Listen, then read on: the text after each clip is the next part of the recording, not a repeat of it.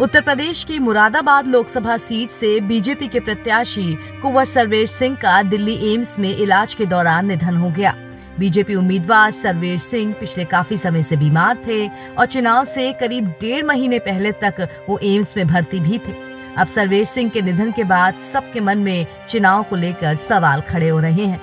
बता दें कि मुरादाबाद में पहले चरण में 19 अप्रैल को मतदान हो चुके हैं और 4 जून को नतीजे आएँगे। अगर नतीजों में बीजेपी प्रत्याशी की जीत होती है तो मुरादाबाद में उपचुनाव होगा। लेकिन अगर बीजेपी के अलावा कोई और प्रत्याशी यहाँ से चुनाव जीतता है तो फिर वही सांसद बनेगा। इस सीट पर सर्वेश सिंह के सामने समाजवादी पार्टी की रुचि वीरा मैदान में है। मौत से एक दिन पहले ही संसदीय सीट के लिए मुरादाबाद में कल पहले चरण का मतदान हुआ था। वहीं पूर्व सांसद और बीजेपी प्रत्याशी सर्वेश सिंह का आज मुरादाबाद के ऋतुपुरा गाँव में अंतिम संस्कार किया जाएगा। बीजेपी उम्मीदवार सर्वेश सिंह मुरादाबाद की ठाकुर द्वारा विधानसभा सीट से पाँच बार के विधायक थे और साल 2014 में मुरादाबाद से बीजेपी के टिकट पर सांसद भी बने थे। इस बार वो नॉमिनेशन करने के बाद से चुनाव प्रचार में कहीं नहीं दिखे। उनकी खराब तबीयत की वजह से उनके बेटे ने चुनाव प्रचार संभाला था।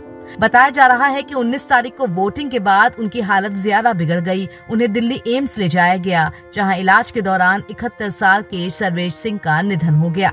वहीं बीजेपी प्रत्याशी सर्वेश सिंह के निधन के बाद उनके परिजनों और समर्थकों के बीच शोक की लहर है।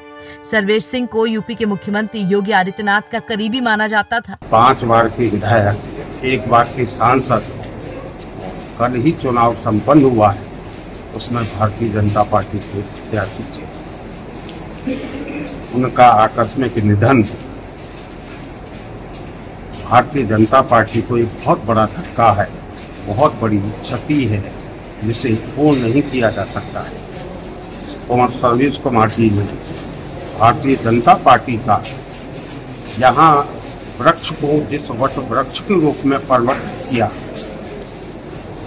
जिस प्रकार की प्रकृति थी, जिस प्रकार का व्यवहार था, मैं समझता हूँ कि इतने बड़े जन समर्थन का नेता बहुत कम लोकसभा क्षेत्रों में पाए जाते हैं। अपने रतुपुरा आवास पर बैठे तब, चाहे मुरादाबाद के आवास पर बैठे, हज़ारों लोगों की तादाद में लोग उनसे भेंट करने के लिए अपनी व्यक्तिगत समस्याओं को लेकर या विकास से संबंधित जो भी आवश्यकता होती थी, उनके पास आते थे।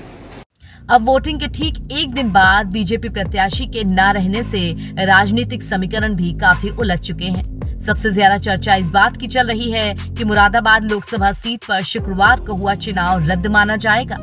वहीं यहाँ पर उपचुनाव कराए जाने को लेकर संभावनाएँ भी जताई जा रही हैं।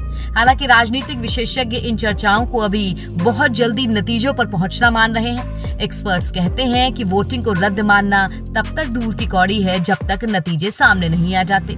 लेकिन अगर बीजेपी प्रत्याशी की जीत होती है तो फिर से चुनाव का सवाल खड़ा होगा। आपको बता दें कि मुरादाबाद में सपा के टिकट को लेकर काफ़ी घमासान मचा था।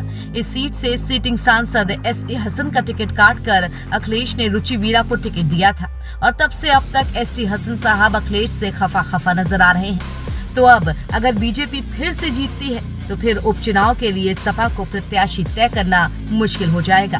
देखते हैं, चार जून को नतीजे क्या बताते हैं। एनबीटी ऑनलाइन की रिपोर्ट।